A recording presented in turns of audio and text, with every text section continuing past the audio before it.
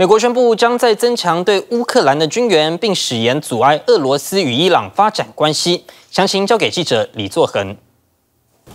好，在这一次的俄乌战争当中，我看到之前就一直传出说伊朗有支援俄罗斯无人机，好让他们这个后勤的补给可以是充足的。当然呢，这个消息是被伊朗否认的。不过现在呢，美国就相当的强硬哦。白宫国安会议发言人科比他就提到说，华府将会致力阻碍俄罗斯和伊朗发展关系。那到底怎么阻碍呢？说在提供乌克兰二点七五亿的美。元的军援要强化空防，以及要击落无人机。而另一部分呢，我们来看到，像是英国驻 UN 大使哦就提到说，伊朗啊已经供给这个俄罗斯数百架的无人机了，而且呢，让他们可以在乌俄的战事当中来使用。俄罗斯是尝试要取得更多的武器，那看起来双方关系非常的好哦。所以呢，俄罗斯将会以军事以及技术相关的支援来交换。数百个弹道的飞弹，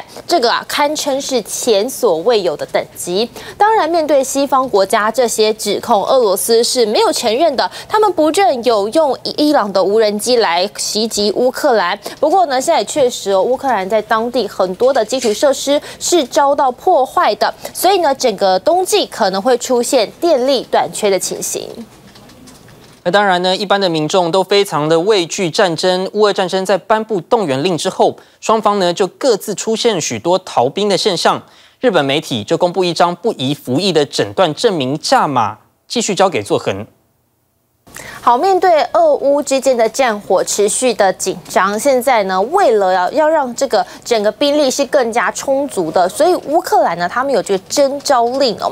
可是现在这个就传出说，有些有钱人他们透过一些方式要来逃避征召，怎么办呢？像是日本共同社哦，他们就有一篇报道提到说呢，传出说乌克兰很多的这个人哦，他们要来逃避征召，就会找医生来开具不宜服役这样子的。证明，也就是要来逃兵。那么这个时间呢，其实只要花一周左右的作业时间，就可以拿到这张证明了。不过它是需要一些代价了，这个代价就是一张要价十五到三十万台币左右哦。所以呢，这真的只有有钱人可能才能够负担得起。不过另一部分呢，现在西方国家说要制裁。而俄罗斯总统普京他也有反制裁的动作，G7 以及欧盟还有澳洲，他们同意说对俄罗斯海运的原油要设定这个价格上限，而这个价格上限将会是设定在六十这个元一桶哦。所以普京就说他可能会透过石油减产的方式哦，也就是拒绝出售来应对西方国家的制裁。美国 CIA 呢千方百计设下圈套，抓了一名恶名昭彰的俄罗斯军火商，他叫做布特，结果呢却把他无罪释放了。原来是要拿他来换取释放美国的女篮球星格林娜，引发美国国内的批评声浪。而普京为何选择军火商？背后有哪些其他的意义？再交给作恒。好，美国借由这个军火商布特被释放之后呢，来交换俄罗斯可以释放他们的这个女篮球星布林娜哦。但是这背后隐藏着什么意义呢？很多人就在说，这个交换呐，到底大家。不认识的这个军火商布特，他又是什么何方神圣呢？有多重要呢？其实他在苏联时期哦，是担任这个俄罗斯军方的翻译，也就是说呢，为情报局来工作。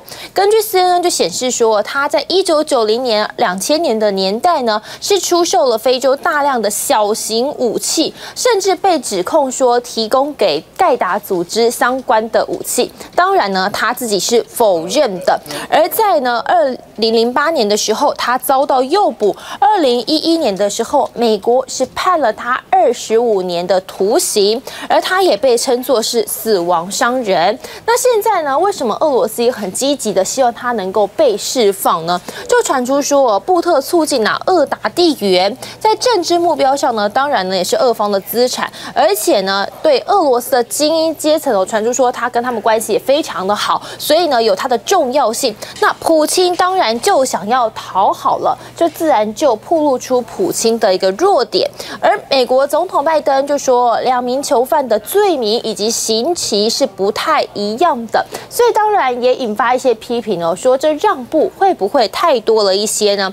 而克里姆林宫的发言人佩斯科夫就提到说，这个换球啊，不代表说双方的关系已经就此是改善了。布特的获释哦，只是提醒说，哎，祖国没有忘记你们。掌握全球情势、国际新闻，全新选择 YT 频道 TVBS 国际 Plus，扩大视野，欢迎订阅并开启小铃铛。